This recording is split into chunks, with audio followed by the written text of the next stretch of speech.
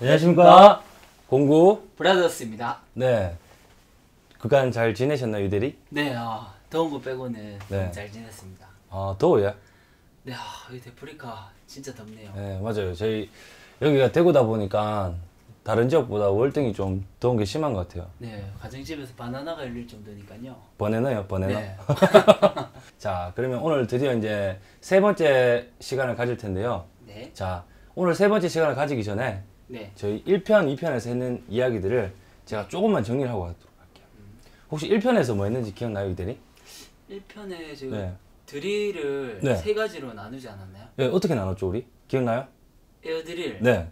전기 드릴, 네. 그리고 충전 드릴. 네, 맞습니다. 어우, 확실하게 예, 기억을 하고 계시네. 자, 첫 편, 첫 편에서는 네, 드릴을 세 가지로 나눴어요. 자, 어떤 걸로 작동이 됐느냐에 따라서, 어떤 에너지원으로 야가 움직이냐에 따라서 세 가지로 나눴어요. 컴프레셔를 연결해서 에어로 작동하는 에어 드릴, 그리고 전기 220 콘센트에 220볼트를 꽂아서 작동하게 되는 전기 드릴. 네. 그리고 세 번째는 선이 없이 이 배터리로만 이- 어, 작동이 가능한 충전 드릴. 이렇게 세 가지로 나눴고요. 그리고 자, 2편, 2편은 우리 뭐 했죠? 2편은 네. 제가 또 그 드릴을 네. 다섯 가지로 네. 나누지 않았나요? 어떻게 나누는지 혹시 기억나요? 드릴, 네. 일반 그냥 드릴, 네. 그리고 앞뒤로 이제 치면서 하는 한마 드릴, 네. 그리고 옆으로 탁탁 치는 임팩 드라이버, 네. 그리고 임팩 렌즈, 예. 그리고 그 콘크리트 전용 로터리 한마 드릴. 와, 정확합니다.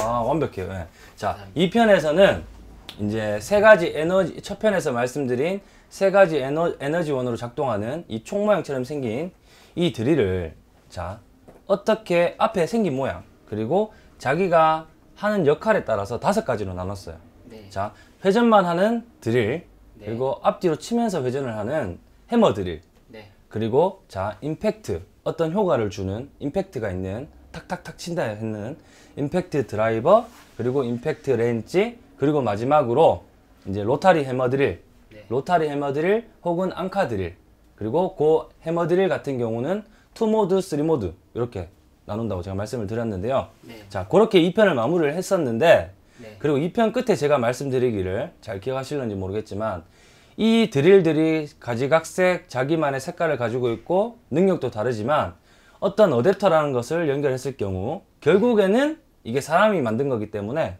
결국에는 똑같아요. 할 수 있는 역할들이. 그래서 오늘은 그 어댑터에 대한 설명을 좀 드릴까 해요. 재미, 재밌겠죠? 네, 기대됩니다. 확실해요. 확실합니다. 눈 크게 뜨고.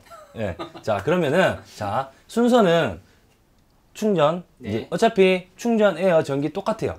네. 이제 앞에 생긴 모양으로 나눴기 때문에 오늘 샘플은 충전으로만 제가 세팅을 해놨어요. 자, 그럼 자, 이제 드릴을 먼저 설명할 텐데요. 네. 자, 드릴을 설명하기 전에 요, 이거 액션캠이에요? 아, 네, 네. 예, 선생님. 요 작동 한번 시켜봐요. 예. 자, 드릴을 설명하기 전에 이 모든 드릴의 앞에 꽂힐 수 있는 것들이 여기 제가 대충 어, 전부 다는 아닙니다. 전부 다는 워낙 많기 때문에 대충 이렇게 전시를 해놨는데요. 자, 잘 찍고 이들이 자, 요 드릴들 같은 경우는 뒤에 생긴 게 원형도 있고 육각도 있고 이렇게 여러 가지지만 이 드릴에는 네. 모두 다 꽂혀요. 자, 모두 다. 다 예. 말씀이시죠? 자, 어떻게 그렇게 어, 또 되는지. 제-? 어, 그렇죠. 좀 궁금하죠? 네. 자, 제가 설명을 드릴게요. 자, 요거 한번 찍어 볼래요? 자, 요 드릴을 보시면, 자, 요게 입이 벌어졌을 때 모양이에요. 자, 어떻게 보면 원을 이루고 있는데, 여기 안에만 들어간다면, 여기 안에만 들어갈 수 있는 굵기라면, 육각이든 원형이든 상관없이, 자, 이렇게 세 발이 나와서 오므려 주기 때문에 어떤 거든지 다 잡을 수가 있어요. 그래서 드릴 같은 경우 말 그대로 회전만 하는 드릴 뚫기 위한 드릴 이 드릴 같은 경우는 어댑터가 굳이 필요가 없어요. 굳이 필요하다면 우리가 흔히 요새 홈쇼핑에도 많이 나오고 있는 코브라 같은 거 이렇게 휘어지는 거 그런 것들만 사용할 뿐이지 이 드릴에 같은 경우 드릴 해머 드릴 똑같은 말이죠. 예. 이 오고 같은 경우는 어댑터가 거의 필요가 없어요. 그래서 바로 사용하시면 되겠고요. 자, 이제 어댑터가 필요한 녀석들을 제가 보여드릴 텐데 네, 네. 대부분 임팩트 드라이버나 임팩트 렌치 그리고 로타리 해머 드릴 요 세 가지에 보통 어댑터가 필요해요. 자, 그러면 첫 번째로 임팩트 드라이버 말 그대로 드라이버 비트를 꽂아서 사용하는 임팩트 드라이버에 대한 어댑터를 제가 설명을 좀 드릴게요. 자, 임팩트 드라이버 같은 경우는 앞에를 좀 잘 보시면 이렇게 육각 모양으로 되어 있어요. 근데 이 임팩트 드라이버 같은 경우는 볼트 수와 메이커 모두 상관없이 앞에 육각형의 지름이 같아요. 6.35mm로. 4분의 1인치라고 하죠, 보통. 네네. 예. 4분의 1인치고 6.35mm로 굵기가 같기 때문에 네네. 자, 여기 보시면 다시 여기 생긴 요 육각형의 모양들은 제기, 가지각색이지만 면과 면 사이의 거리가 6.35mm로 다 같게 돼 있어요. 그래서 어떤 임팩트 드라이버에는 어떤 임팩트 드라이버에도 다 맞게끔 돼 있어요. 자, 그러면 첫 번째로 이 임팩트 드라이버를 사용한다는 전제는 드라이버를 꽂아서 풀고 쪼는 게 주를 이루실 거예요. 흔히 말해서 피스 작업이 주인 경우겠죠. 자, 그분들이 이 임팩트 드라이버로 드라이버를 풀고 쪼는 일을 하시다가 네네. 하시다가 구멍을 뚫고 싶어요. 내가 지금 드라이버로 풀고 쪼는 역할을 하는 기계를 사서 작업을 하고 있는데 내가 지금 뚫을 일도 생길 수 있잖아요. 네네. 그렇죠. 그럴 때 어댑터를 이용하게 되면은 네네. 드릴의 기능을 사용할 수가 있게 되는 거죠. 흔히 말해서. 자, 보고. 예, 보고 싶죠. 자, 네. 여기서 또 중요한 게 여기 보시면 자, 요 임팩트 드라이버를 드릴로 쓰고 싶을 때 꽂을 수 있는 어댑터예요. 자, 조금 다르게 생겼죠? 자, 요 보시면 철로 되어 있는 요 부분, 요 녀석은 키척이라고 해요. 왜 키척이냐? 키쳐. 예. 여기 키가 있어요. 네. 요게 있어야지만 입을 벌릴 수가 있고 잠글 수가 있거든요. 그래서 조금 요걸 가지고 다녀야 된다라는 단점이 있지만 네. 대신에 요즘 같이 18V 네. 드릴들의 힘이 워낙 세져 있는 상황에서 네네. 이 척이 반대 요 요건 keyless 척입니다. 네네. keyless 척 같이 플라스틱으로 되어 있는 경우 힘을 굉장히 많이 받으면 파손되거나 부러지는 경우가 많이 발생해요. 그렇기 때문에 임팩트 드라이버로 강하게 뚫는 작업을 하신다면 여기 나. 요게 나, 예, 요게 낫습니다. 아, 그래서 전기 드릴들이 대부분 네. 이렇게 돼 있는 것 같더라고요. 와, 이거 거의 천재인데요? 아니, 맞아요. 이거 진짜 굉장히 네, 좋은 예, 말씀인데, 자, 어, 그 말 잘했는데, 여기 보시면 전기 드릴 좀 있죠? 요렇게. 자, 요거 예를 들어 볼게요. 전기 드릴도 대부분 앞에 척이 요렇게 보이시죠? 네 네. 키척 타입이에요. 왜냐하면은 220볼트의 전기를 전기라는 힘을 써서 작동이 되다 보니까 대부분 와트 수가 높고 힘이 세요. 그래서 앞에 물려 있는 것들이 강하게 돌다 보면은 이 척 타입이 부러지거나 망가질 수 있는데 그것을 방지하기 위해서 대부분 전기 드릴은 키척 타입으로 되어 있답니다. 예, 그게 이제 그거고요. 그래서 다시 설명을 드리면 자, 요 임팩트 드라이버에 꽂을 수 있는 두 가지 드릴로 쓸때 네. 임팩트 드라이버를 드릴로 쓰고 싶을 때 꽂을 수 있는 어댑터는 요두 가지예요. 자, 요거는 키레스 척이라고 하고 혹은 자동척이라고도 해요. 왜 자동척이냐? 자, 제가 사용 예를 한번 보여드릴게요. 자, 여기 보시면 이게 원터치거든요. 꽂고 이렇게 꽂으시면 자, 이렇게 드릴이 되는데 왜 자동척이냐면은 입을 벌리고 입을 오므릴 때 잡고만 있어도 저절로 입을 벌렸다가 오므렸다가 이렇게 할 수가 있어요. 그래서 일반 자동 드릴이 돼버리는 거예요. 그렇죠. 이렇게 다 고말도 잘했는 게, 자, 네. 이렇게 비교를 해보시면, 임팩트 드라이버지만 이 어댑터를 이용함으로 인해서 드릴이 됐죠. 네네. 그래서 이제 임팩트 드라이버를 쓰시더라도 네. 이 어댑터를 이용하시면 드릴과 똑같이 쓰, 쓰실 수가 있어요. 구멍 뚫는 작업이 가능한 거죠. 네. 근데 단 여기서 또 하나 말씀을 드려야 될 거는 이 어댑터를 장착 했다고 하시더라도 네. 콘크리트를 뚫기에는 조금 무리가 있을 수 있어요. 자, 회전하는 힘만으로 콘크리트를 뚫을 수 있는 건 사실이지만 네네. 여기 기존 척이 달려있는 해머 드릴처럼 앞뒤로 쳐주는 기능이 없기 때문에 아무리 18V란 강한 힘을 가진 녀석이라 할지라도 회전하는 힘만으로는 콘크리트를 뚫기에는 조금 역부족인 게 있어요. 기계에 무리가 예, 가겠네요. 그렇지만 콘크리트가, 콘크리트도 여러 가지잖아요. 네네. 입도가 단단한 게 있을 거고 무른 게 있을 거고 네. 무른 거 같은 경우는 제가 직접 뚫어봐도 10mm까지도 뚫려요. 근데 이제 엄청나게 입자가 고르거나 밀도가 높은 콘크리트 같은 경우는 네. 6.5mm 그러니까 흔히 칼부락 박는 정도도 뚫기가 어렵거든요. 그러니까 그 부분을 참고하시면 좋을 것 같고 네. 임팩트 드라이버로 지금 드릴을 쓸 수 있는 방법을 제가 말씀드렸고요. 어댑터를 네. 설명드렸고 그 다음에 자 임팩트 드라이 임팩트 드라이버를 갖고 있는데 네. 이번에는 임팩트 렌치처럼 핸드 소켓 또는 복스다마 우리가 흔히 말하는 복스다마를 꽂아 사용하고 싶은 경우가 있을 수도 있잖아요. 그렇죠. 자 그런 경우에 쓸 수 있는 어댑터를 제가 또 보여드릴게요. 자, 자 생긴 게 이렇게 생겼어요. 보이시나요? 이렇게 제가 세 가지를 보여드리는 이유는 요 뒤에 부분은 여기 뒤에 부분은 여기 보시면 뒤에 부분은 6.35로 임팩트 드라이버에 꽂히도록 똑같은 사이즈로 되어 있어요. 근데 앞에는 세 가지로 나눠놨죠, 제가. 네, 네. 자, 왜 나눠놨냐면은 앞에 꽂을 수 있는 핸드 소켓의 사이즈가 작으면 흔히 말하는 우리가 소복스. 소복스는 4분의 1, 8분의 3, 요 두 가지 머리를 가지고 있어서 작은 미리는 요게 꽂도록 되어 있고요. 네, 네. 흔히 이제 8mm나 10mm 이상이 되는 경우 2분의 1 일반적인 사이즈는 여기에 꽂도록 되어 있어요. 그래서 이렇게 사이즈가 다른 거고 자 여기에 만약에 제가 임팩트 드라이버로 임팩트 렌치처럼 복사만을 꽂아 쓰고 싶을 때 쓰는 어댑터입니다. 자, 어떻게 사용되냐 보여드릴게요. 꽂고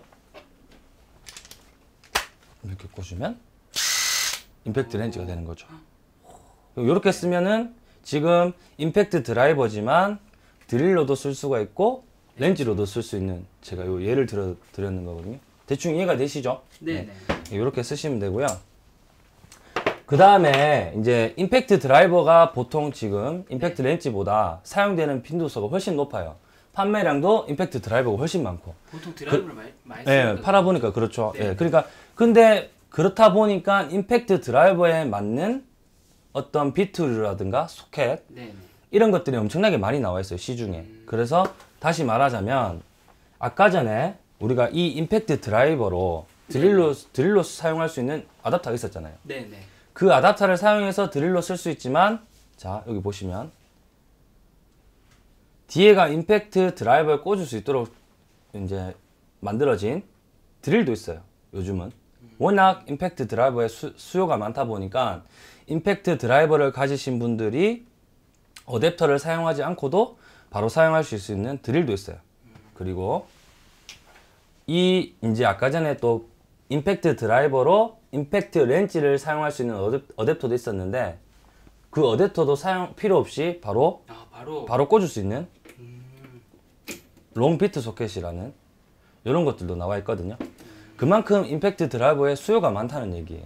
흔히 다시 말하면 네. 자 그래서 임팩트 드라이버를 사용하실 때 자 이제 이렇게 사용하시면 되고요. 네. 자 다음은 이제 임팩트 렌치를 제가 좀 설명을 드려볼게요. 네. 자, 임팩트 렌치는 제가 1, 2편에서 설명드린 것처럼 핸드 소켓, 자, 핸드 소켓이나 혹은 복스다마라고 하는 요 녀석을 바로 꽂아서 작업할 수 있는 드릴인데요. 자, 임팩트 렌치도 마찬가지로 드릴로 사용할 수도 있고 임팩트 드라이버로도 사용 가능한 어댑터가 있어요. 자, 드릴부터 먼저 한번 해볼게요. 네네. 자, 임팩트 렌치를 드릴로 사용하고 싶다. 네, 네. 자, 그럴 경우 이제 아답터가 이렇게 생겼어요.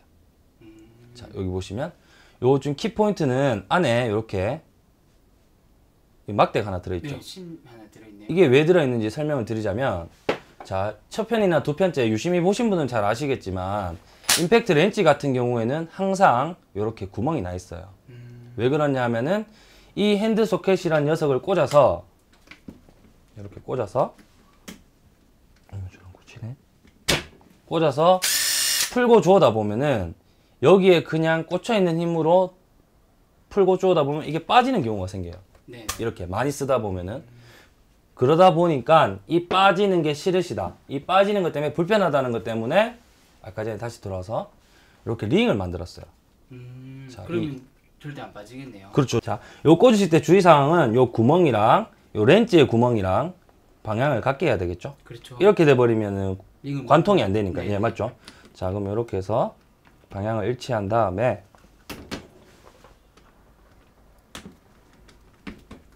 이렇게 꽂으신 다음 요 핀 있죠?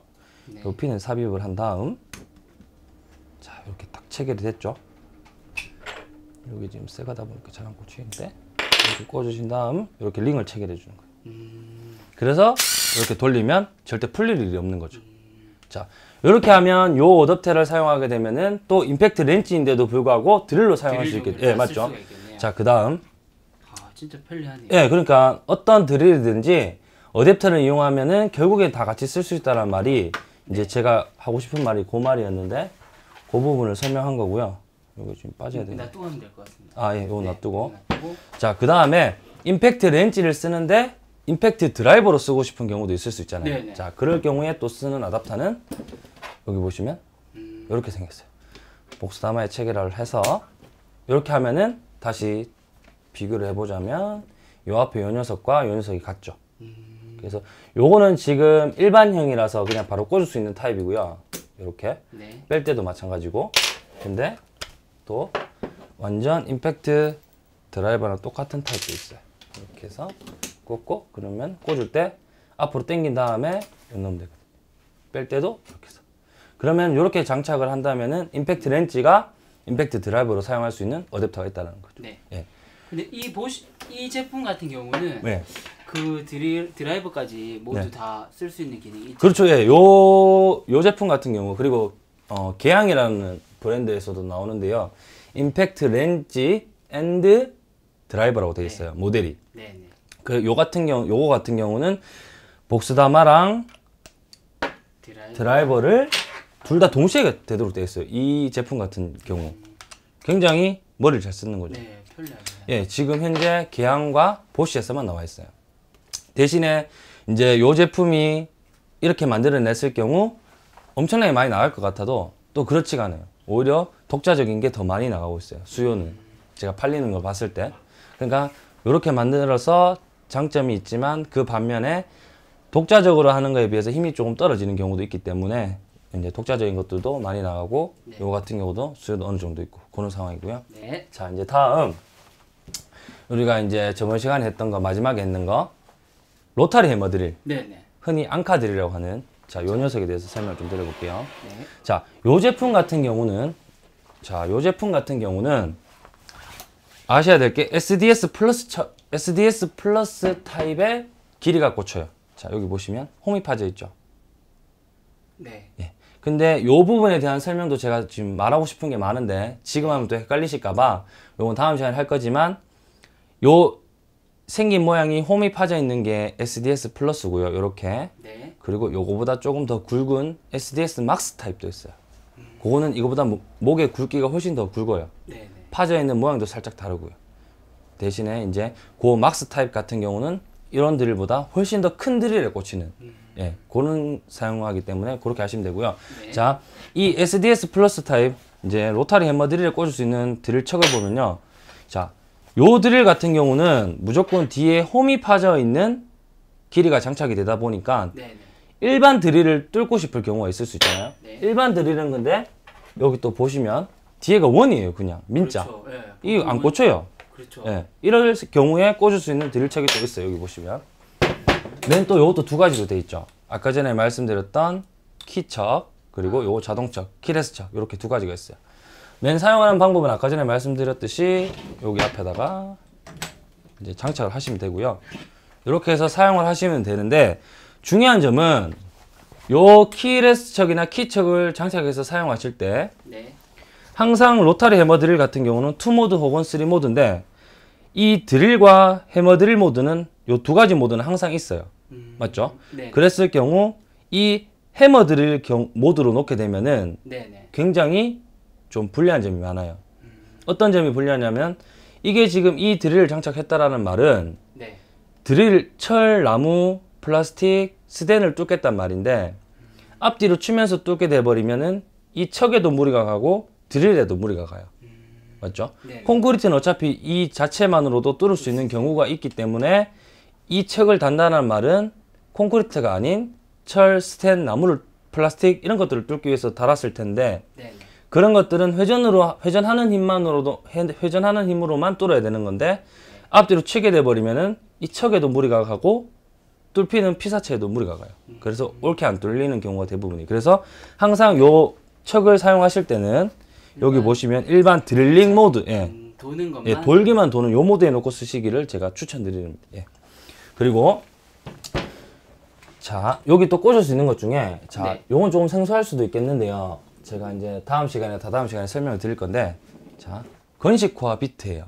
네. 자, 말 그대로 벽돌을 뚫는데 조금 굵게, 그러니까 지름이 넓은 걸 뚫고 싶을 때 사용하는 비트예요.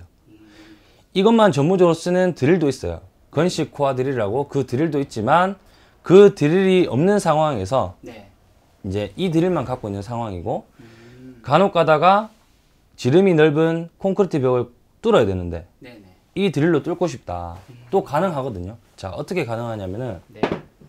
또 여기에 맞는 아답터가 있어요. 건식 코어 아답터. 음. 예, 그래서 방법은 여기다가 맨 아까 전처럼 장착을 하시고요. 그 다음에 요 건식 코어 피트 같은 경우는 이렇게 이렇게 장착을 해서 이렇게 하시면 거의 코어 드릴이랑 똑같이 되는 거죠. 요렇게- 정말 예. 많이 나왔네요. 예, 그렇죠. 그러면 이제 이렇게 하면은 네네. 다시 말해서 자기가 지금 처한 상황이 네네. 어떤 드릴이 필요한지는 제가 각 드릴에 대한 설명을 2편에서 드렸기 때문에 네네. 선택할 수 있을 거라고 생각해요. 그래서 그 드릴을 선택하셨다면 그 드릴만 쓰다가 혹시나 다른 기능으로 쓰고 싶을 때 이제 꽂을 수 있는 어댑터들에 대한 제가 설명을 또 좀 드렸잖아요. 네. 그래서 어떤 드릴을 사더라도 어, 모든 기능을 다 사용할 수 있다라는 거. 어댑터가 있다면. 그럼 단점 같은 건 없나요? 오, 굉장히 예리한 질문이에요. 네. 예, 항상 그 촉이 좀 서 있는 것 같아요. 촉이. 이 촉이. 예, 이 단점을 제가 좀 설명을 드릴게요. 단점이 없- 없을 수는 없으니까. 네. 자, 이 임팩트 드라이버부터 제가 설명 드려볼게요. 임팩트 드라이버나 렌치나 똑같은데요. 네. 자, 이렇게 둘 다 아답터를 연결을 하게 되면은 네네. 일단 기본 그냥 썼을 때보다 길이가 길어지죠. 그렇죠. 이 앞으로 툭 튀어나오게 돼요. 네네. 그러다 보니까 자 돌려볼게요. 어떤지 잘 봐봐요. 네. 이 카메라 잘봐잘잘 봐야 되는데 예, 잘 봐요. 이 보여요. 어, 좀 약간 보여요. 네, 약간 이 더더더더 그런 거 보여. 좀 네네. 야, 자 이게 왜 그러냐면은 네. 자이 척에서 길이가 짧으면 만약에 자 없죠 네. 그런 현상이. 근데 아무래도 이 아무리 고든 것을 꽂아서 사용해 본들 네. 여기 사이에 유격이 있기 때문에 네. 많이 원심력을 잃어요. 그 굳이 말하면 이 센터에서 돌려고 하는 것에서 좀 많이 벗어나 버려요. 이 연결착을 이용하게 되면은 정밀하게 뚫는 게 조금 일반 드릴보다는 좀 어렵겠네요. 그렇죠. 바로 드릴에 물려서 쓰는 경우보다 자, 아무래도 휘청휘청 거리다 보니까 그 휘청휘청거린다는 정도는 요거랑 비교했을 때 더 있다라는 거기 때문에 정밀한 작업이라든가 조금 이렇게 계속 작업했을 때 좀 불편한 점이 생기죠.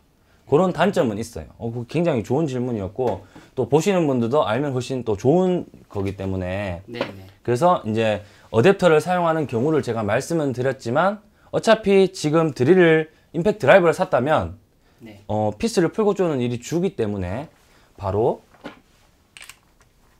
이렇게 꽂아서 사용하는 게 거의 네. 대부분이실 거예요. 그렇기 때문에 이렇게 쓰기에는 굉장히 용이한 드릴이 맞고요. 근데 혹이, 혹시나 행여나 쓰다가 드릴로 쓰고 싶다. 그럴 경우에만 쓰는 거기 때문에 네. 그 정도는 감안을 하시고 쓰시는 게 좋을 것 같아요. 근데 여기 핵심이 네. 가장 중요한 것은 네. 어떤 드릴이든 다 여러 작업을 다 가능하긴 한데 네. 사, 어, 쓰시는 분들께서 네. 가장 많이 비중을 두는 작업? 작업에 그렇죠, 그렇죠. 맞춰서 사면 되겠네요. 그렇죠. 네. 그러니까 이제 좀 많이 아, 어, 좋은 굉장히 좋은 말인데요. 네. 이제 1편, 2편, 3편을 보시면 내가 지금 드릴은 사고 싶은데 아, 네. 드릴을 사야 할 것 같은데 네. 어떤 드릴을 샀을 때 가장 효율적인지 굉장히 고민하실 수도 있어요. 네. 네. 근데 요즘 제가 조금 이제 관심이 있고 항상 이- 유심히 보지만 인터넷에 자료가 너무 풍부해져 있어요. 네. 인터넷에 특히 그 네이버나 이런 데 보시면 네. 근데 다만 조금 아쉬운 점이 있다면 그 정보들이 너무 중구난방으로 이렇게 있다 보니까 딱 어떻게 한 곳에 모아서 요약해서 얘기해 주는 곳이 없어서 항상 좀 아쉽더라고요. 그래서 제가 이렇게 영상을 또 찍는 이유이기도 하고 네. 자 그래서 다시 이제 이대리가 말했는 것처럼 이 영상을 보시면 지금 자기가 하고자 하는 작업이 뭔지만 아시게 된다면 어떤 드릴을 사용하면 되는지는 조금 아시게 됐을 것 같아요. 네. 그 정도만 됐다 하더라도 네. 저희가 네. 찍었는 예, 예, 네. 그런 보람이 있으니까 그렇게 사용하시면 되겠고요. 네. 자 여기까지 이제 얼추 드릴에 대한 것 우리가 3편 동안 드릴에 대한 것 설명드렸는데 조금이나마 드릴에 대해서 아시고 드릴에 대한 어, 드릴을 선택할 때 도움이 되시길 바라고 네. 자 저희는 이제 다음 편에서는 또 다른 다른 공구들에 대한 설명을 또 드리도록 할게요. 네, 알겠습니다. 네. 네. 그 이제 또 날씨가 많이 더운데 더위 조심하시고 네, 물 많이 드시고 예. 또 궁금한 거 있으시면 언제든지 저희한테 또 물어봐 주시고 그럼 저희가 또 친절히 친절하게 답변해 드릴 거니까 맞죠? 네. 맞죠? 예. 그래서 여기까지 하고 마치도록 하겠습니다. 네. 이상 공구 브라더스였습니다. 감사합니다. 감사합니다.